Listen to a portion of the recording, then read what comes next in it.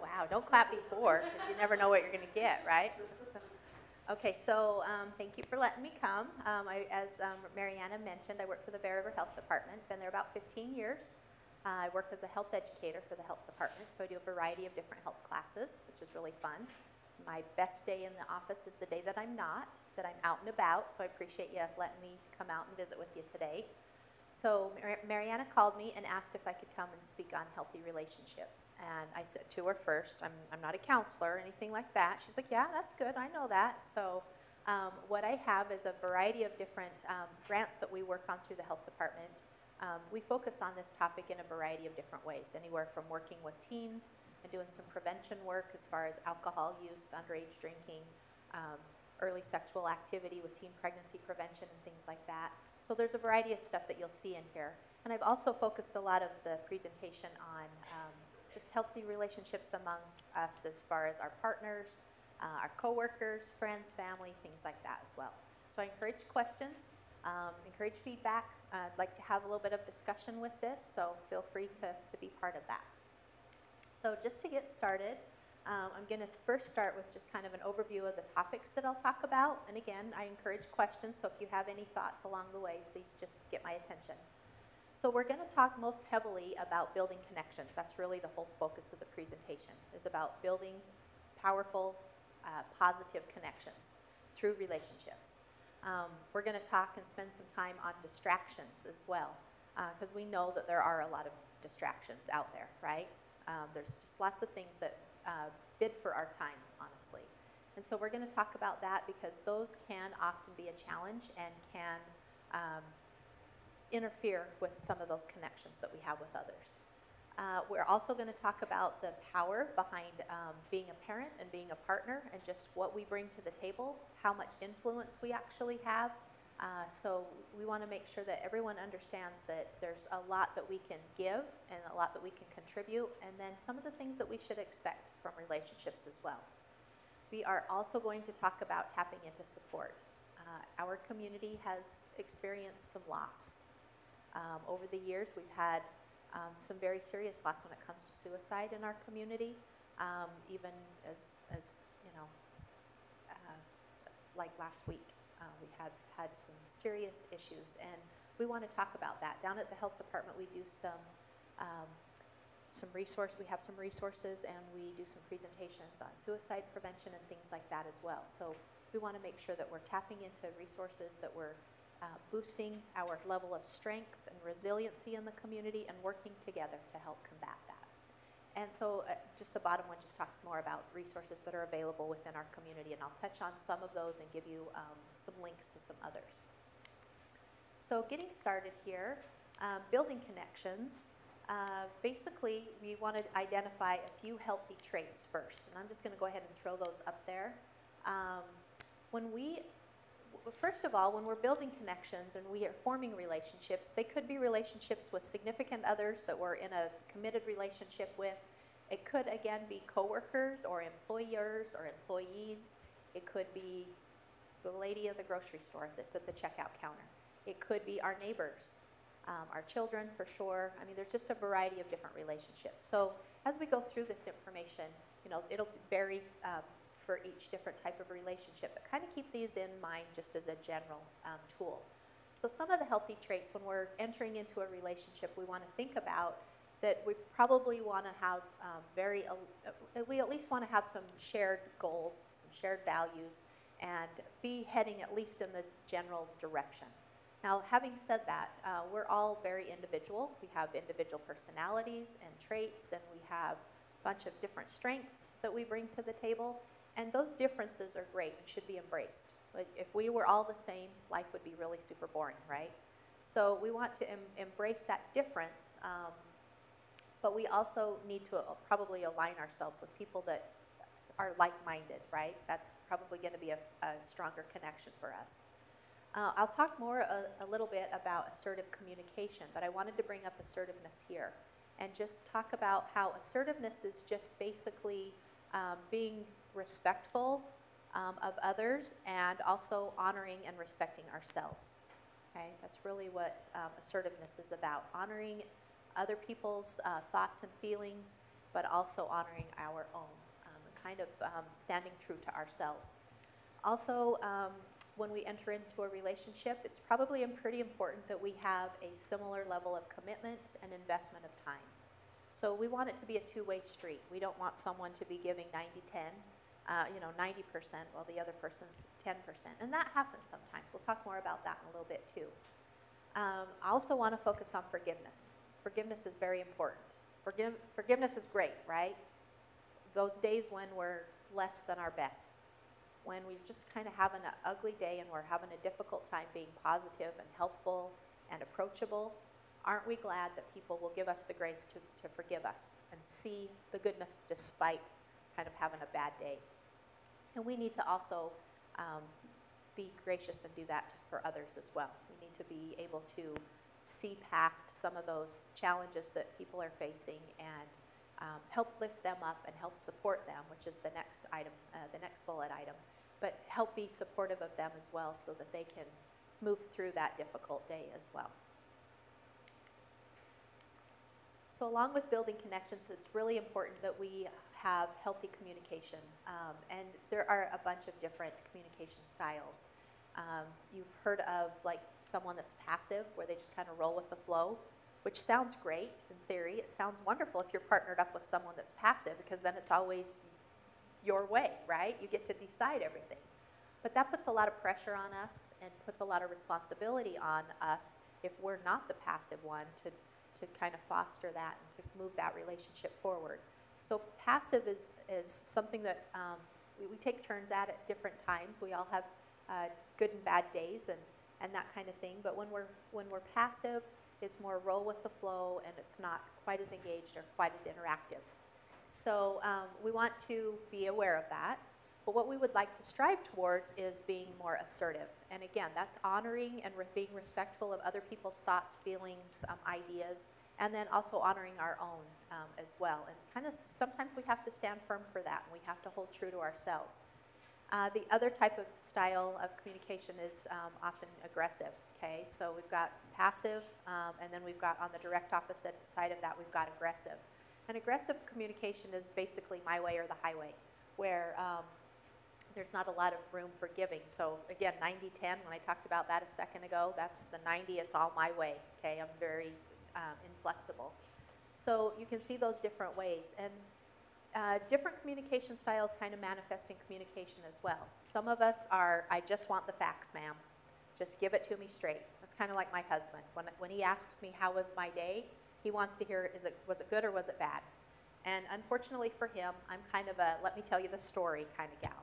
So he wants, I just want the facts, ma'am, but he's going to get the story. So he's going to get why my day was great or why my, why my day was not so great. And he's going to get it from 6 o'clock in the morning until whatever went, went really well or went really bad. He's going to get what I'll build up to that and what my frame of mind was. so thankfully, he's patient with me and, and he works through that with me. But that's something that we need to consider as we enter into a relationship as well, that those, those differing communication styles uh, can be a little bit challenging to, um, to work with. So we need to be thinking of that as we're, as we're uh, developing these connections. Another thing that's really, really critical for healthy communication is eye contact. And just as I'm standing, you know, amongst you guys today and I make eye contact with you, um, that helps me know that you're valuing my presence here, that you're um, respectful of my message. Doesn't necessarily mean that you agree with it. It just means that you're giving me the respect and showing me some time and um, sharing your energy and sharing your, um, your time, which is really important. So eye contact is very, very critical. I know um, just like raising my kids growing up, I, I think back now about all the things that I should or shouldn't have done, of, of course. And I think about some of the times when they'd come in after school and they'd say, and, and I would say to them as they'd come home, how was your day? Right? That's kind of the mom thing that we do. And uh, I'd be standing at the sink fixing dinner or getting dishes done or whatever, and they would come in and, and I'd ask the question and they would proceed to tell me a little bit, or, you know, as they got older and a little more quiet and a little less sharing as in their teen years, they, they may not share quite as much. But had I, you know, dried my hands, sit down with them, made direct eye contact, and said, How was your day? And showed them a little bit more respect and value in that way, my conversations with them probably would have been drastically different. So we need to really make a point that eye contact is really, really critical. And there's a lot less eye contact and a good firm handshake going on in the world. Have you noticed that? There's a lot of um, there's a lot of ways to connect. There's a lot of different um, social media and apps and things like that where we can connect with people, but nothing replaces the fact when you're person to person and you're reading body language and you have that direct eye contact and you can gauge um, and understand and communicate more effectively for sure. So I put active listening, they go hand in hand. Active listening is more than just hearing what someone says. Active listening is actually hearing what they're saying, listening intently, listening to get the best understanding from that person as possible. It's not so much about listening so that you can formulate your response. It's not thinking about what you're going to say when it gets to be your turn when they stop talking, right? It's about listening intently, giving that person that respect to understand what's going on in their mind and kind of get the best overall picture of what they're trying to convey to you. So that's really, really critical. Active listening is something that we all should try to work harder to do. I, I believe that um, it, it's easy for us to, to get distracted and have challenges that way, but it's really critical that we do that. So um, respectful language is another important key part of um, healthy communication. And respectful language, I just try to always remind myself before, before I have a redhead moment and I'm going to go off on somebody, I try to ask myself, okay, what's coming out of my mouth, is it going to be helpful? So if it's not going to be helpful, then maybe I need to rethink it spend a little more time in processing before I actually let it go. Okay, that's really, really critical. Respectful language is, again, we can have differing opinions and we can have different um, ideas. That's totally fine. Again, we would be really super boring if we were all the same. But respectful language is just asking, would it be, will this be helpful? What can I say to help the situation instead of make it worse? What can I say that's not going to turn around later and I'm going to regret it, or I'm going to cause pain, that, or maybe some irreparable damage to, to this to this relationship. So that's really, really key. Just trying to remind yourself of that. And that goes along with cooperation and negotiation. Um, I mentioned earlier about 90-10, and we hear all the time like marriage is supposed to be 50-50. What do you think? Marriage 50-50? Depends on the day, doesn't it? It does. It depends on the day. And so 50-50, sometimes it's 60-60, right? Some days, like when my husband's asking me how was my day and I want to go tell him this whole story, he's trying really hard to just be quiet and just not cut me off and go, I just want the facts, ma'am, right? So um, that cooperation and that negotiation is an ongoing thing. And some days, you know, we have bad days. And so some days we don't give it our best effort and we're not fully present and we're not fully engaged. Some days we may be less than respectful.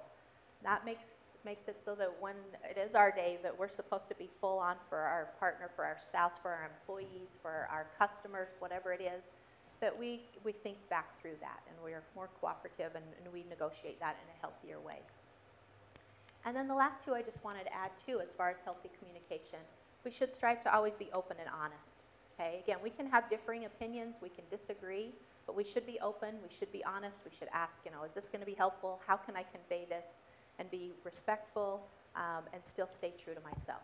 Those are all very critical things to keep in mind. Okay, so distractions. Many, many distractions, right?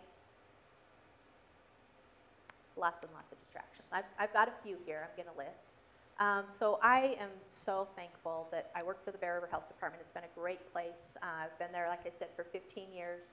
Uh, and I enjoy my job a lot. Matter of fact, one of the things that I struggle with is leaving my job and going home and just disconnecting because I think about it a lot because I care about it and I'm very passionate about it.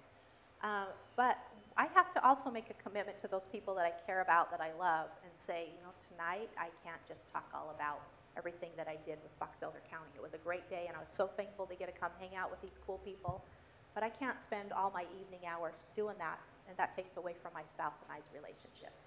So with work, we need to make a commitment that we're going to be home to have dinner with our family if at all possible. And sometimes that works and sometimes that doesn't. Um, we're going to try not to talk shop when we're out to dinner as couples or when we're around the family dinner table we're going to try to leave a little bit of less of that um, aside so that we can focus more intently on our relationships. Now, by all means, if something happens at work that is a good learning um, experience for your family, where you want to share something that, you know, some strength that you developed or some challenge that you faced and was able to overcome, definitely share those things. Those are good teaching moments. But um, we want to make sure that we leave work um, and not um, take that home and, and, and have that be a distraction with our families.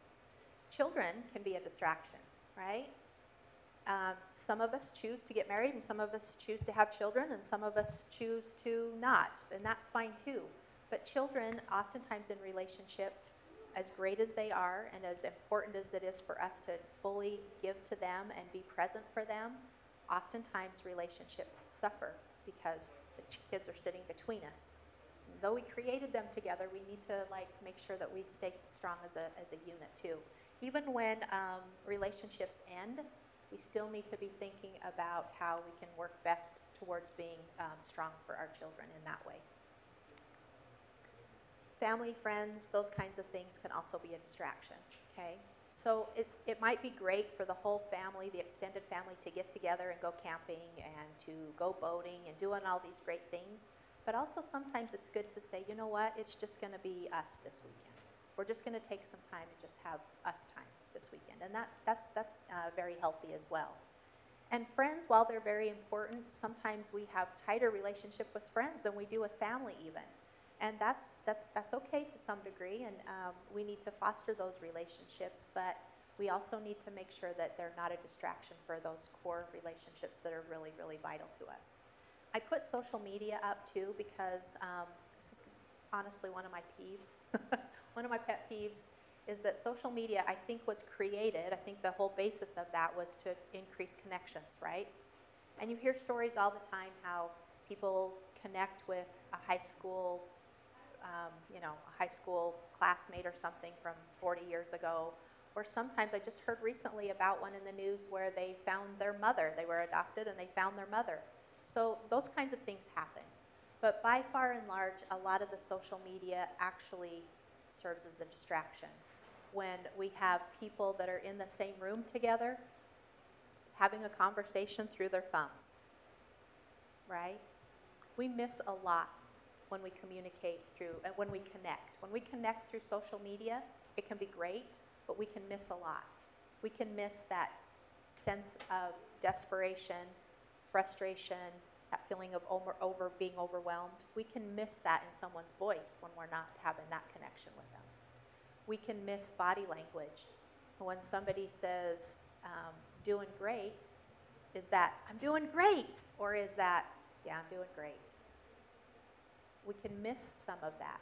That's really, really important when it comes to communication. So there's a lot of people that struggle and no one has a clue or they're surprised by that, but because they seem like everything that they're seeing on social media seems happy and positive and great, but they're not seeing and, and uh, being able to, to feel that full connection. Hobbies are great, and we should explore those, and we should have things that we enjoy and can look forward to, but hobbies can be a distraction too from critical relationships. So if we love to shop, or we love to um, snowmobile, or we love to watch sports on hours on end, or shop, or or craft or whatever it is, that's great. But we need to make sure that they're not serving as a distraction for those core connections and those core relationships. So, what I would suggest is finding those things that you love that help you de stress and all of that, and share them with the people that you care about. Um, and um, you know, invite them in if they if they would like to. Uh, it's funny driving here from the road sheds this morning. There's this there's two great big huge fields of horses, you guys know where I'm kind of talking, you know where the big bull is out there. Two great big huge fields of horses, and I love horses.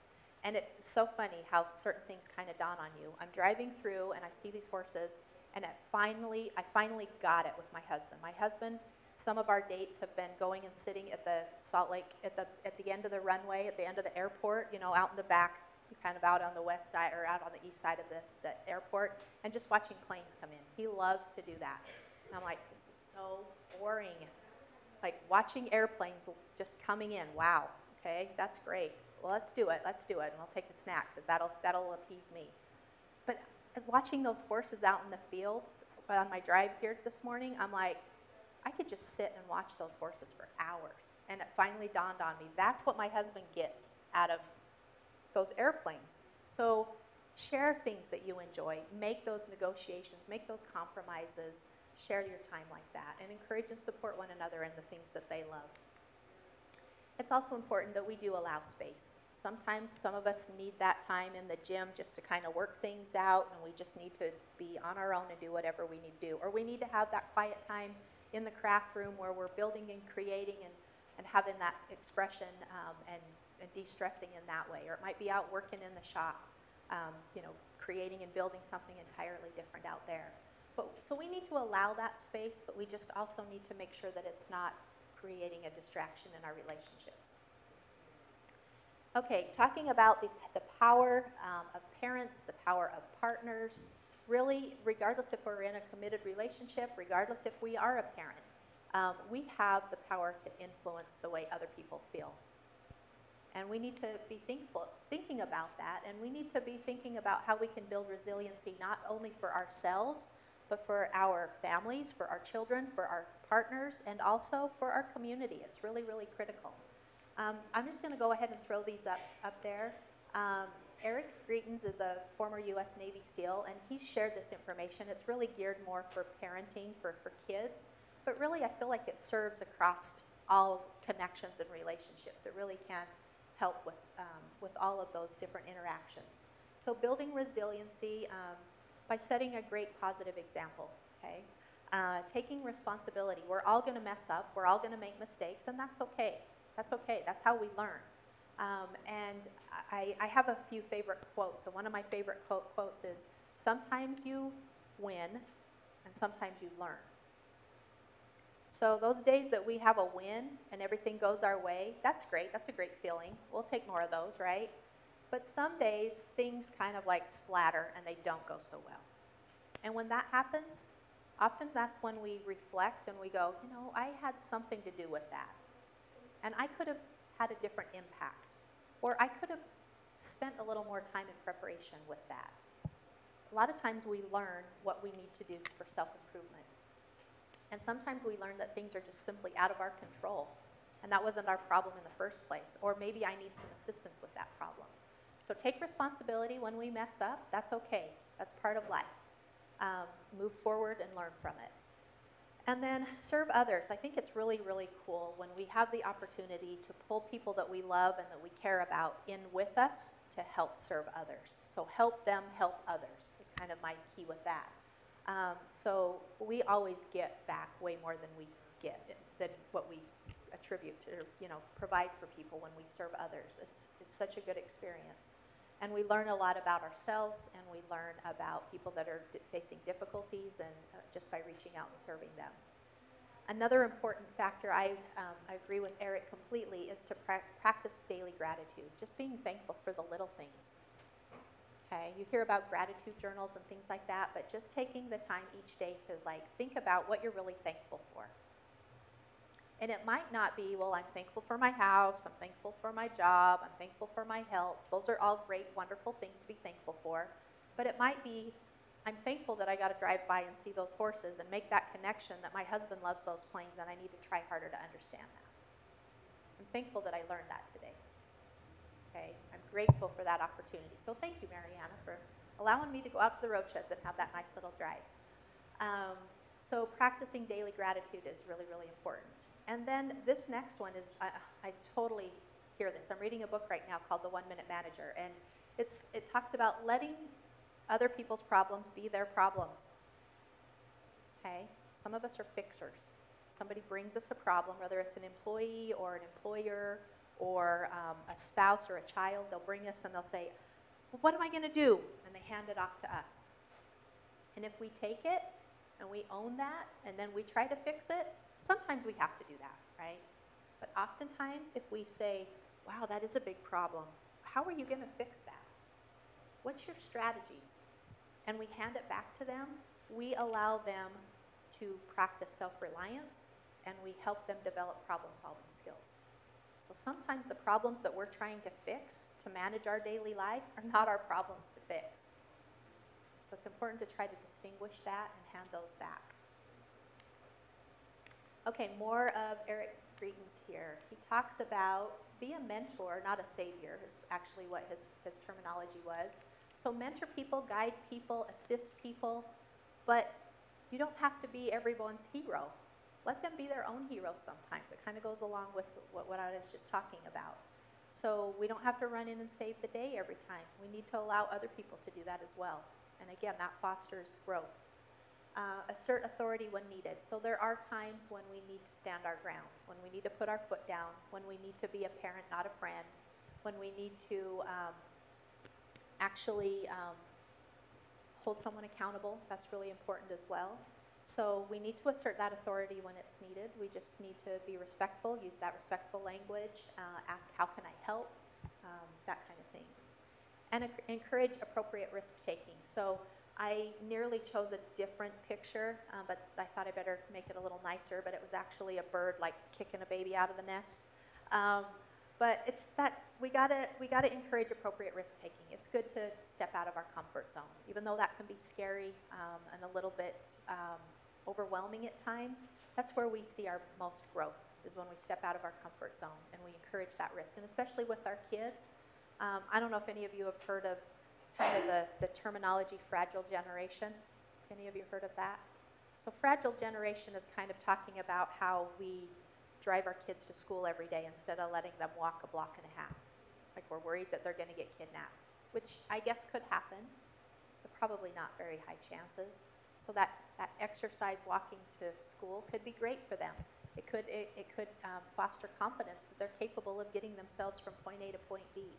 But we, we have kind of created this generation where we do a lot of things for them that they could really do for themselves. And we save them a lot of hardship because as children ourselves, we always try to make it better for the next generation.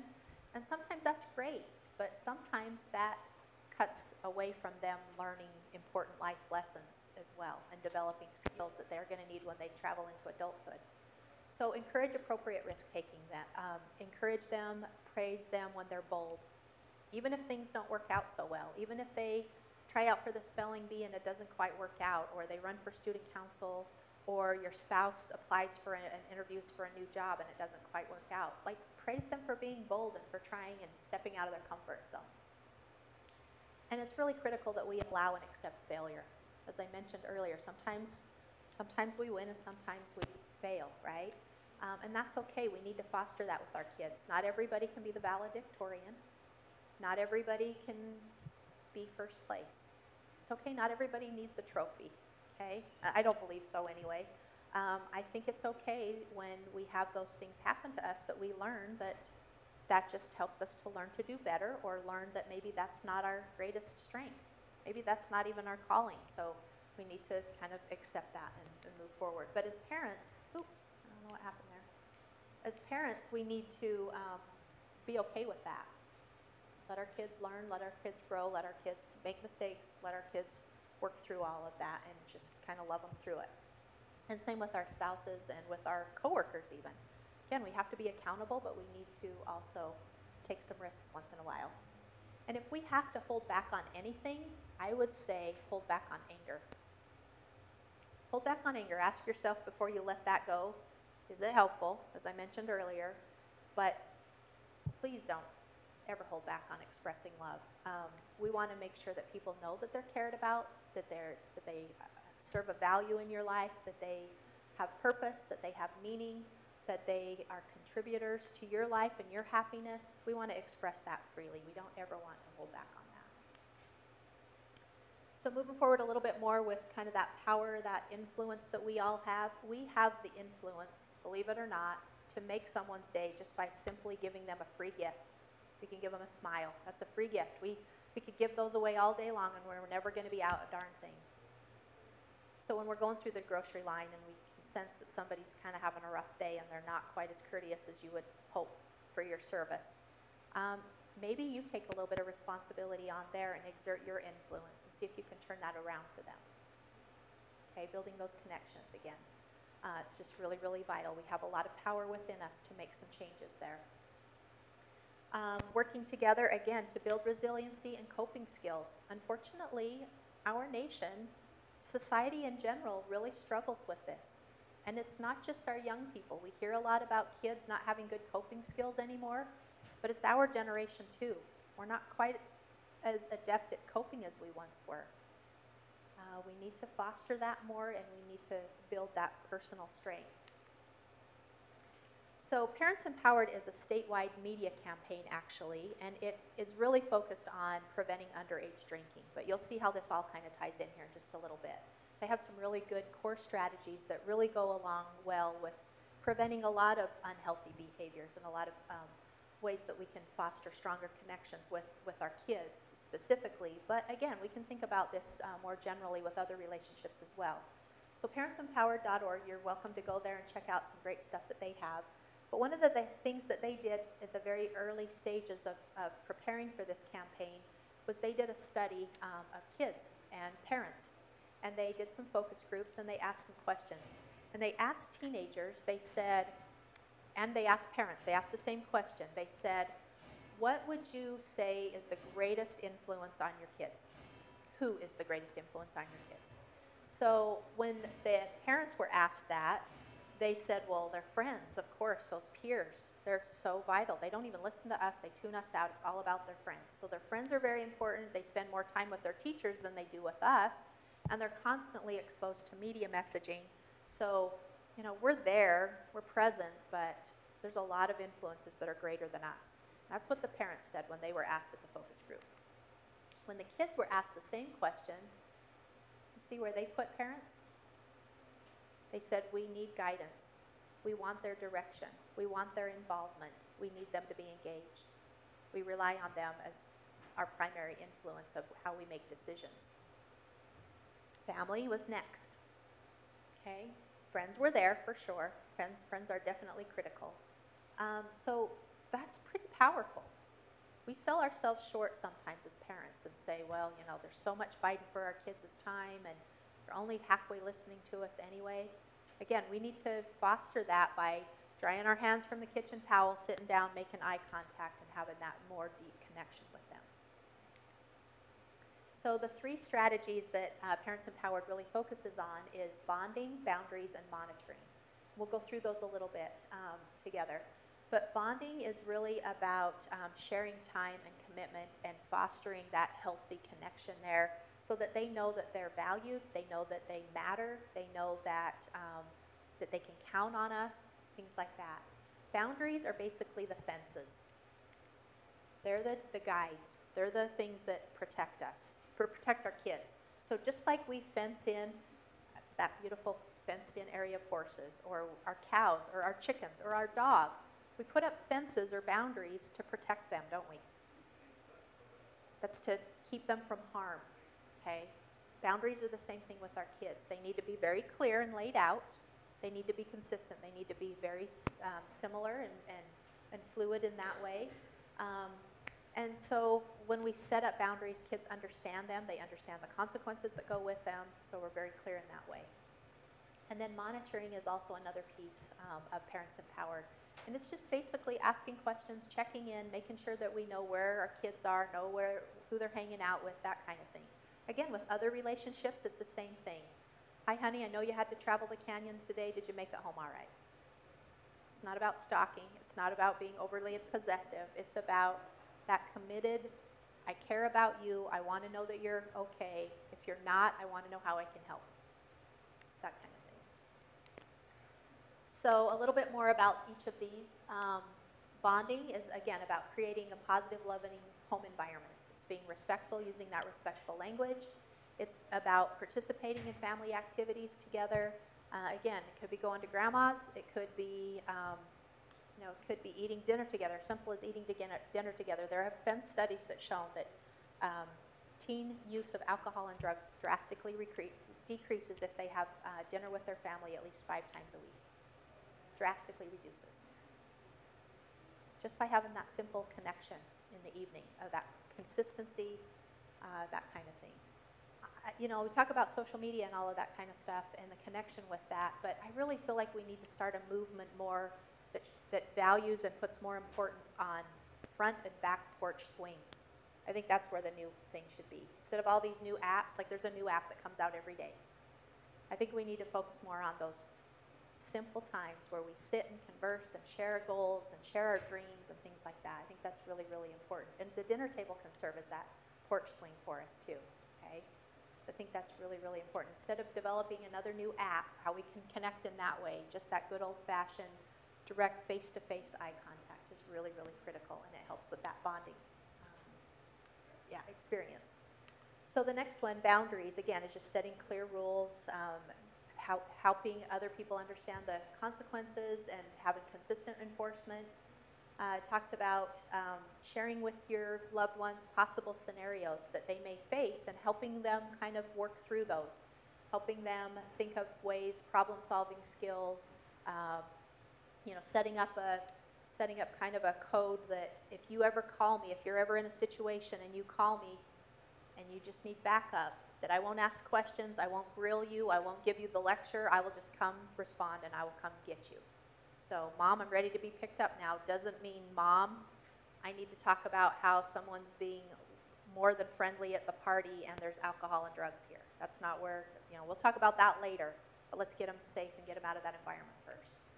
Um, and it's also about asking for personal commitment from, from the other person that's in the relationship as well. It's kind of a twofold thing. Like, let's set up some boundaries. You have your boundaries, I have my boundaries. Let's understand them fully and, um, and be respectful of them. So speaking of um, the scenario, um, my children, you know, empty nester, my children have been gone for a while, and um, my daughter, all grown up, you know, she still texts. You know, that's her form of communication with me.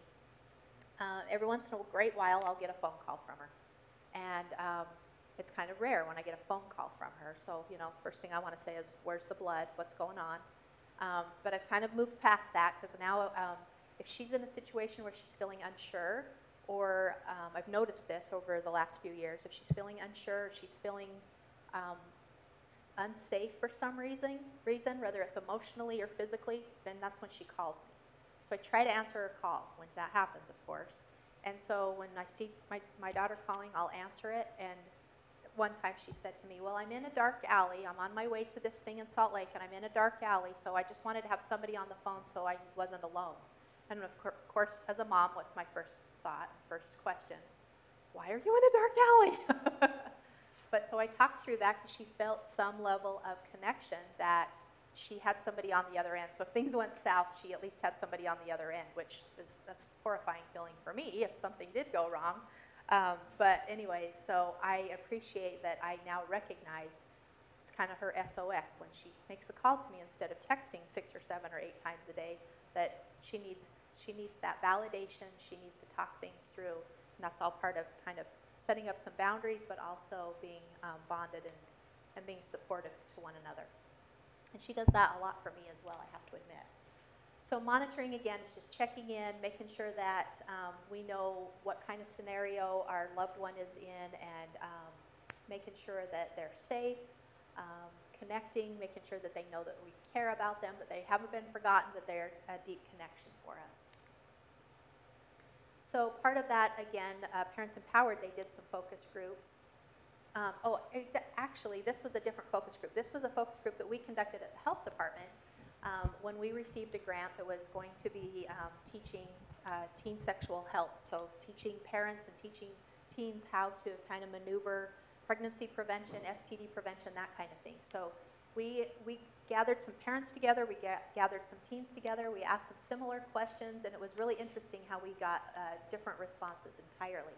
But um, parents felt like their most important responsibility was uh, putting in place morals, values, beliefs, which the health department agrees with 100%. Um, we feel like that's the parent's role. And we try to assist with education uh, regarding health issues um, as we can, but we really want the parents to be the guide for that. And we actually have a class at the health department. It's called Families Talking Together. Uh, it's a great opportunity. It's, it's really not so much of a class as it is an in, it's a discussion, really a couple hours long. You've, I'll be giving you some information on it, but it just kind of helps you open up conversations. And it's, guide, it's guided to um, help us talk to our kids about sex, but it's bigger than that. It's about any kind of risky health behavior, really, whether it's alcohol use or um, e-cigarettes or whatever. You can use all of that kind of foundational stuff to have those conversations.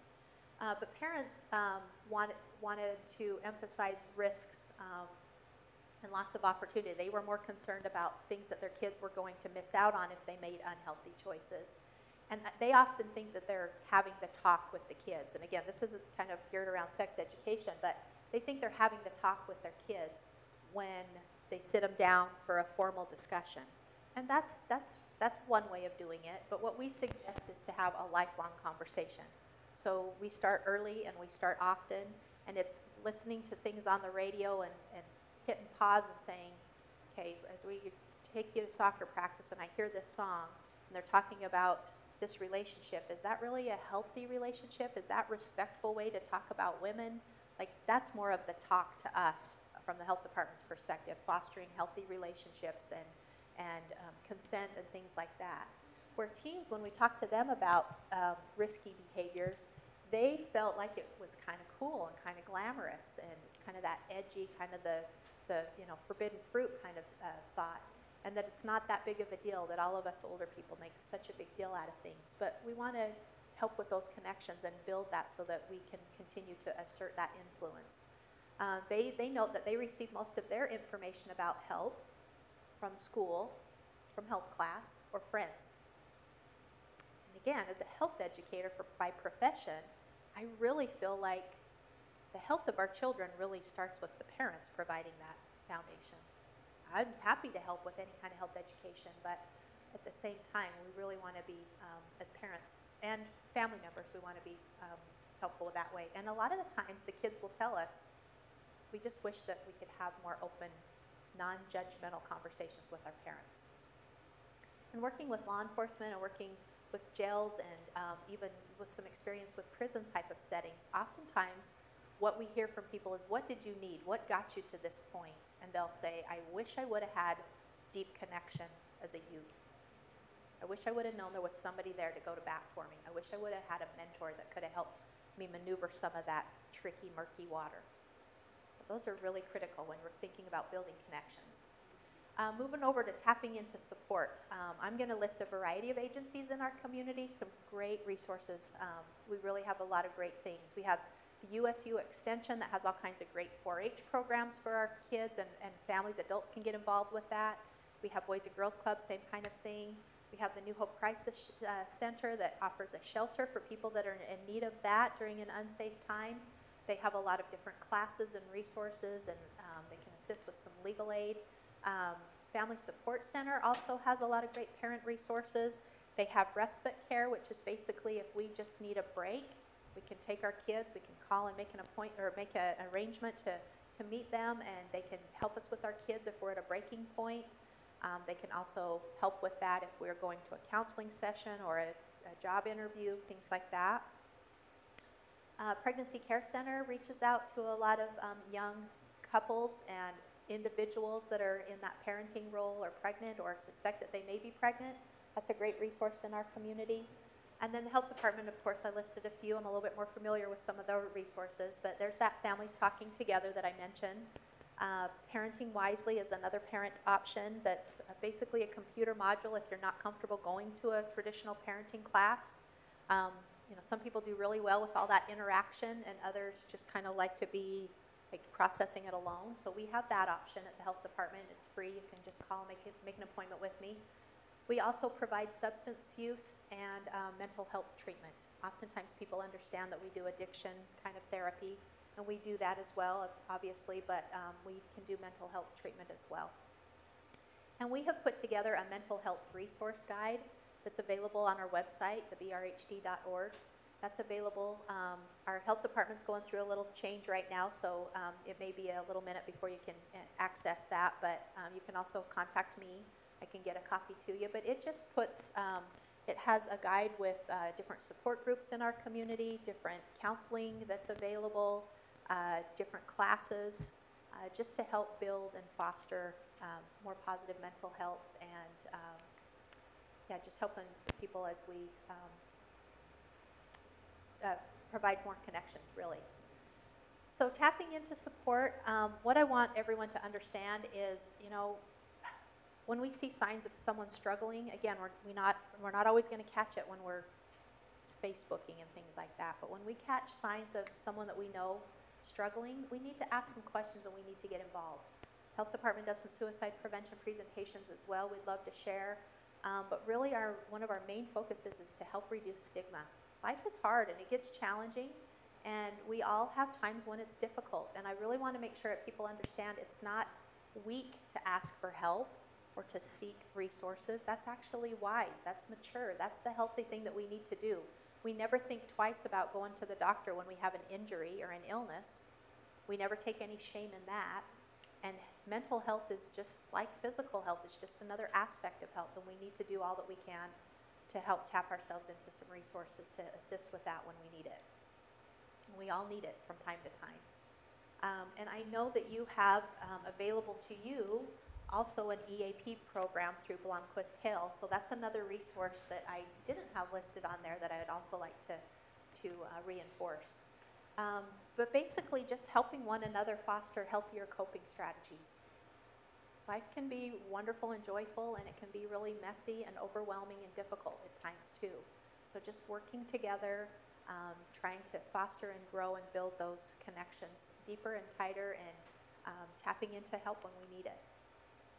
So again, there's a few more websites. Uh, the healthyrelationshipsutah.org, that's actually um, USU Extensions. Uh, there's a lot of great information and classes and activities for kids, for dads, for couples, for individuals, um, finance. There's a lot of great stuff there. Um, like I said, we've got a variety of different things available at the health department as well. So, in wrapping up, what I would like to challenge and encourage each one of you to do is just maybe take one little tidbit.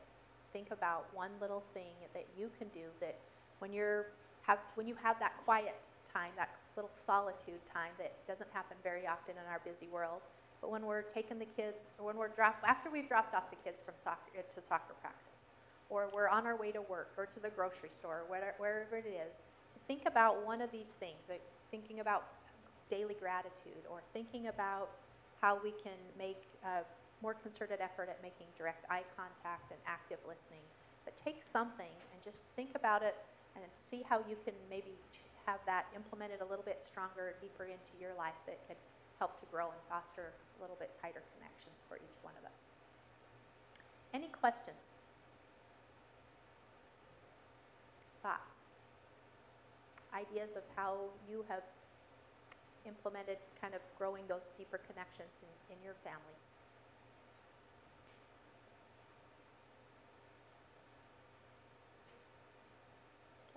Well, I appreciate your time today, and thank you very much.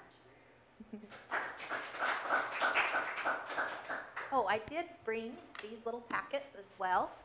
Um, so you're welcome to to take one or even take a couple if you need. Um, I don't want you to get scared away with the brochures talking about abstinence, talking about sexual responsibility, and talking to your teen. Don't let those scare you. There's a couple of different uh, materials in there along lines with some of the grants that we have at the health department, but I wanted to be, be able to bring you a freebie. And relationships can be wonderful and joyful, but they can be a little stressful, so this is a stress ball. Um, and then there's some information in the back as well, uh, some ways that you can connect with your kids at the dinner table. These little fun, um, cut them apart, and then you, it just helps foster conversation, basically. Uh, there's some things in there about family dinners and the importance of that. So please take, take a couple if you want to share with someone else. And you guys have a great day.